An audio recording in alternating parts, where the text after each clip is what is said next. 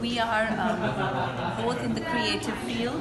Yeah. We have both kind of like uh, been empowered to create. She's uh, creating in her, uh, you know, Department of Gourmet Food, and I'm doing interior design. I think that the association came together with the Zoya as a brand.